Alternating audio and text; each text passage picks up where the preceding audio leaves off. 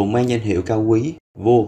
Kinguga trong Pokemon liệu có khác với số phận lên dĩa trong các buổi tiệc sang trọng như cô hoàng đế ngoài đời thật hay không?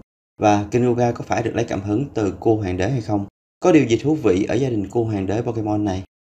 Kurabu và Kinuga xuất phát điểm chính là cô, chỉ là trong quá trình thiết kế, có thể là do đói quá nên nhà thiết kế đã gặm mất vài chân của em ấy, khiến cho nhà này chỉ còn 4 chân và hai càng mà thôi. Cô cũng có vô số loài, và để mà nói thì hình dáng găng nanh và đường nét trên thân của Kurabu xuất thân từ loài cô mang đậm tinh thần võ sĩ đạo Nhật Bản với biệt danh cô Samurai. Lý do mang biệt danh này chính là do hình dáng mai của nó có tạo hình giống với bộ mặt giận dữ của các samurai. Tên thật của loài cô này là Hekerani, được đặt theo tên của gia tộc Tara hùng mạnh từng thống trị Nhật Bản vào thời Trung Cổ. Ngoài Heikegani, tập tính ăn cát của Kagabu còn được lấy cảm hứng từ giả tràng. Giả tràng hay tìm thức ăn trong cát, cát sẽ được chúng lọc qua một lần gồi nhả ra thành các viên tròn. Tuy vậy, Kinuga lại không giống với ý tưởng của Kugabu.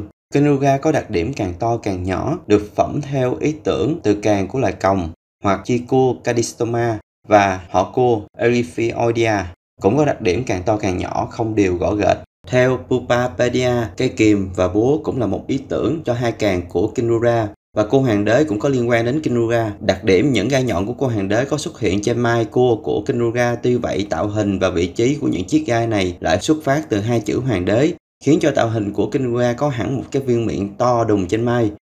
Ý tưởng thiết kế đã lên đến 3-4 loại cua, thậm chí là đã gọi ra cả một họ nhà cua nhưng vẫn chưa hết các bạn à. Hình dáng Gagantamat của Kinuga với các chi dài ga cả luôn cặp càng là ý tưởng thiết kế dựa trên loài cua nhện Nhật Bản. Trong khi đó, cái bọt bong bóng màu trắng ở miệng của nó lại được lấy cảm hứng từ việc cua hay thổi bong bóng.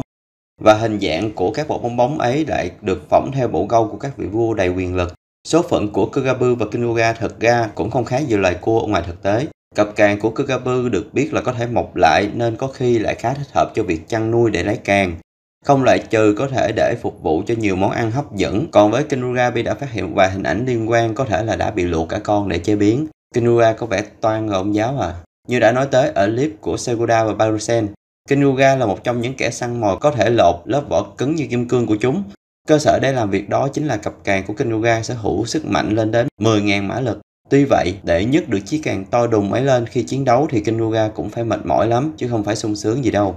Lưu ý, video về các Pokemon Bi làm không mang giá trị tham khảo. Sau khi xem xong vui lòng không chơi vô bổ và không có giá trị tham khảo. Và Bi hy vọng các bạn cảm thấy thú vị. Đừng quên subscribe để ủng hộ Bi, like, share nếu thích các nội dung mà Bi đã làm.